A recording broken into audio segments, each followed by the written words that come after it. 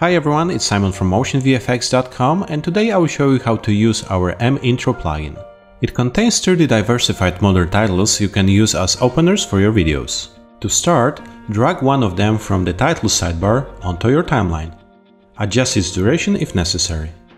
Now let's go to the inspector to adjust its parameters. Set the mode to logo or text depending on your needs. In logo mode, just fill the publish drop zone with your image. Some of mIntro titles have additional texts you can use as a subtitles. Type in your text and set its position on the scene. Use the publish parameters to personalize the color, opacity or alignment of any other element of the title. You can also turn off the background or move the whole scene to reveal the footage below.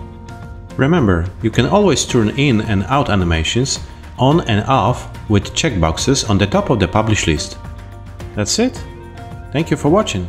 For more awesome plugins and templates for Final Cut Pro 10 and Apple Motion, please visit motionvfx.com.